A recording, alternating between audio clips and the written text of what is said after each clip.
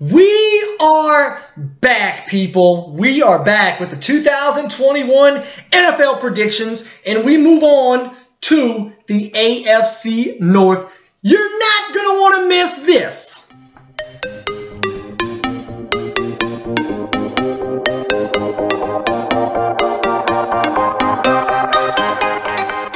And now the AFC North. What a stacked division. Storylines running wild. Baltimore Ravens getting some more weapons for former MVP Lamar Jackson. The Browns aren't going anywhere. One of the most talented rosters in the league. You've got the uh, the Cincinnati Bengals adding talent, getting Joe Burrow some help. Goodness gracious, get that man some help. And you got the Pittsburgh Steelers. What the heck happened to the Pittsburgh Steelers? These guys are just a few years removed of having the, the best running back, the best receiver. Big Ben was much better. He was a little bit younger, duh. But, and we're going to start things out with them. We're going to start things out with the Pittsburgh Steelers. Leaf clover, put that vest in an overcoat. Never need a Hollywood, they drowning in my ego. I invest, side roller, tie the rest to the lower road. She lick it, drip it, flip it to the peak, you know. Woo! I could not find a highlight for the Steelers team last year. Fairly boring to watch, although they, I just hope you guys like that video, man. I, that video gets me every time. No matter how many times I watch it, it's still going to be great. Those Steelers last year, although they finished 12 and 4, good record, they started out 11 and 0. And the offense just died at the end of the year, right? 24th ranked offense in the league, okay? The third ranked defense, this defense is very, very stacked. We'll hit on that in a minute.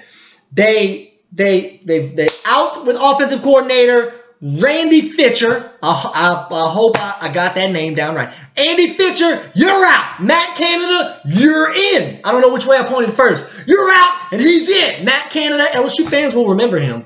Uh, and they probably won't be too fond of him because what the heck kind of offense was he running over there at LSU when he was there? I don't know, but he was out pretty quick. But then he did good things at Maryland. Then he made it to the NFL as a quarterbacks coach for Big Ben. And under Big Ben, as, as Big Ben's quarterback coach, no quarterback in the league got the ball out faster than Big Ben with 2.3 seconds snap to throw. So I think you're going to continue to see that. I, they, this team also had the 32nd ranked rushing offense in the league last year. That's not the Steelers offense we know. I do know it's 2021 and everybody likes to pass the ball, but you will not be successful without a running game, and they're going to have to do a better job of that. And that's going to be hard to do because they lost a lot of key pieces on offense. But the defense is stout. 35.1% pressure rate from that defense, highest in the NFL. They gave up a total of 1,382 yards after the catch, the lowest in the NFL. This team is stacked. This team is absolutely stacked. Not a lot of big moves in free agency, but they definitely lost some guys in free agency. James Conner, gone to Arizona. Linebacker Bud Dupree, gone to Tennessee. Maurkice Pouncey, center for Big Ben, like his whole career. Retired. He gone. Alejandro Villanueva leaves in free agency, signs with the Baltimore Ravens. That's an interesting one to watch when they play each other. That's going to get real chippy. That's going to get real chippy. If that, that what an interesting what an interesting rivalry to trade. I mean, wow, what a great rivalry. In the draft, they do address the running back need with Conner gone. Now that Le'Veon Bell's not there, or has been gone, right? They haven't really had that. Najee Harris, linebacker out of Alabama. If there is a linebacker that's supposed to play for the Pittsburgh Steelers, it's freaking Najee Harris. What a monster. That should definitely improve the run game. Now, in the second round, they go the tight end Pat Freiermuth uh, out of Penn State. I don't I, I don't know. You know, I, am not an expert, but you know, ha, if I were an expert and I had an opinion on this as an expert, I would say that's not a very good draft pick. I would say that's not a very draft pick. They got Eric Ebron that's already there. Uh, he's a freak athlete. Um, he does drop a few balls, but he was pretty good for him last year, if I if I remember correctly. Don't have stats on that, by the way. But what happened to the Steelers team? This guy's got the best running back, the best receiver. Big Ben was a little bit younger and better. What happened to these guys? I think this is the year, like you see, like a rapid decline. I predict this team to go 6 and 11, last in the AFC North, and it possibly could be worth These guys, hot take, or you know, you want me to give you a hot take. These guys might have a top 10 pick, but I'm going to go with 6 and 11 because I think that defense is just too good with TJ Watt, Minkah Fitzpatrick, Joe Haden. They've got a really good secondary, and they've got some really, really big pieces on that. It's going to be quite quite an interesting thing to see. If, if they have such a good defense and they just don't get any wins. Sorry, Pittsburgh. Sorry. Next up in the AFC North, we have your Cincinnati Bengals. Here comes Bosa. Here comes the quarterback Burrow. Looking for a block, and he got it up in the front by Hopkins into the end zone. Touchdown! What a scamper! Called his own. And boy, oh boy, does it get hyped with Ja'Marr Chase coming to meet the man you just saw, Joe Burrow and his Bengals in Cincinnati. This team was 4 11 and 1 last year. They were not good. Joe Burrow gets hurt in week 11, 11, nasty injury. This guy's throwing balls right now. This guy's throwing balls. It's 7:34 on a Tuesday. I bet you he's throwing throwing balls in Cincinnati right now. Somehow. He's coming back with a vengeance. They did have the 29th ranked offense and the 26th ranked defense. They were not a very good football team. No team in the league was throwing the ball as much as the Cincinnati Bengals leading up to week 11. With the worst offensive line in the league. I think that Zac Taylor, I believe that's his name, that could be completely wrong. I could be totally off on that. They've got to find a balance with the run. And it's going to help with Joe with Joe Mixon coming back, hopefully full time. Maybe this guy can get 16 games. And because he is a special running back, he is really good. The Bengals threw for 200 over 208 yards one time after the Burrow injury in week 11. It's vital that this guy plays every single game for the Bengals for the next 10 years. They had the third lowest third down conversion rate in the NFL, 36.2%. That's really low. There's got to be a balance there. They, they just abandoned the run game when Burrow was playing for them. They were just like, we're going to throw it every time. And to be honest with you, for as bad as that offensive line was, I've never seen anybody that calm under such an atrocious offensive line. Can you imagine what David Carr would have felt like? And it's no, I'm not hating on David Carr. Anyways, we got to continue. Free agency, they did make a lot of additions to depth, their defense especially. They're bringing two cornerbacks. Chidobe Awuzie? Boy, these names are getting me, man. Eli Apple? I mean, he's talented, driving the Saints fans nuts, but good luck to him. I hope he has a good career in Cincy. Uh, defensive end, another Saint, baby. Let's go. Trey Hendrickson making that money. I think it's going to be very interesting. Trey Hendrickson flourished with the defensive talent that we had in New Orleans. Now, he's going to be the guy getting the chips, getting the double teams. He's got his work cut out for him in Cincy. Mike, cornerback Mike Hilton, and offensive tackle Riley Reiff. They did bring an offensive tackle that's probably going to be starting. I think right tackle for them. It's going to be very interesting to see that. They did lose Geno Atkins, Giovani Bernard going to Tampa Bay, AJ Green going to Arizona. Arizona has a lot of veteran talent over there. And John Ross leaving for the Giants. Now, in the draft, they definitely addressed their biggest need. I don't know. Maybe their biggest need was offensive tackle, but they addressed the second biggest need with Ja'Marr Chase out of LSU reunited, and it feels so good. Those guys are going to be a, a problem for teams. That, that Those receivers are going to be a problem. Tee Higgins, Ja'Marr Chase. I mean, this is very interesting. Uh, they also in the second round drafted Jackson Carman, Clemson, offensive guard, all six foot five, 330 pounds of that boy. I mean, come on, that's what you need. That's what you need. They still address two of their needs on the line. They they can't be any worse on the offensive line. They can't be any worse. The next three picks go to defense, defensive end, defensive end, and defensive tackle Tyler Shelvin out of LSU. Six foot three, 346 pounds. That guy's going to make the field this year. I don't know if he starts over whoever they got in front of him, but he's going to make the field. The Bengals have allowed opponents to rush for over 2,000 yards in each season since 2017. So they use three of their first five draft picks on defense. And they pick up all of those cornerbacks and everybody has to have free agency. I think the Bengals are going to be much better, especially if they can protect Burrow just any any better. I think they're going to make a huge leap this season, and I think that they still have a losing record, but seven and ten, and finish third in the AFC North. Let's go, Joe! Let's go! We are only in the second division of this season prediction. There's no way my voice is going to last because I'm that freaking hyped. about this. And now we continue on to the Cleveland Browns. Continues to build on both sidelines. 20 straight completions from Mayfield. Looking for more. Taking a shot. Up the far side. It's caught. Miraculous catch. Let's go! The Cleveland Browns finished with an 11 and 5 record last year and took a tough loss to the Kansas City Chiefs. That's a game they told. I mean, they almost won that. We almost had the Browns and the Bills in the AFC Championship game. We almost had the Browns and the Bills in the AFC Championship game last year. Can you imagine what that would have been like? Bills Mafia, the Browns Nation, the Dog Pound, or whatever they call themselves over there in Cleveland. Wow, they had the 16th offense though. I feel like a team with this this kind of this much talent on their roster should have better than the 17th ranked offense. I understand OBJ wasn't there. They had the 17th ranked defense as well. This is we thought their roster was loaded two years ago, especially last year. This is one of the most talented rosters on paper, for whatever that's worth, than anybody else in the league third rushing in the league offensively, and ninth against the rush defensively. These guys are like driven. I mean, they are well disciplined, a well disciplined, and a well oiled machine. This team knows how to get it done. Only 13 running backs in the NFL faced eight or more defenders in the box over 30% of the time. Okay, so let that sink in and rewind because I'm not saying all that again. And two of those running backs, Kareem Hunt and Nick Chubb. They know they're running on them. They know everybody knows it. They're going to run the ball down your throat. Which is why Mayfield and company have to have a better season throwing the ball. I mean, they just do. They just got to be more efficient passing the ball. It, it, there's, there's no way around it. OBJ ought to be healthy, hopefully. They got the best offensive line in the league. Everybody knows it.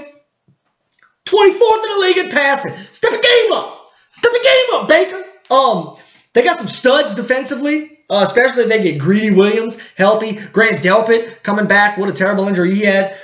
Free agency, they didn't waste any time or money. Jadeveon Clowney, Troy Hill, and John Johnson III. That is the biggest pickup in free agency um, that, uh, that, that, that I, I, can go with. Right? I mean, John Johnson III, that's a Pro Bowl. That's an all-pro safety right there, I think.